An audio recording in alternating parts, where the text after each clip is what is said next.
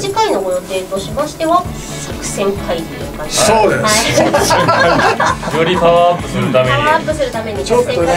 ちょっとあの次回は、はい、あの雑談もちょっとあるかも思いますが、はい、雑談とい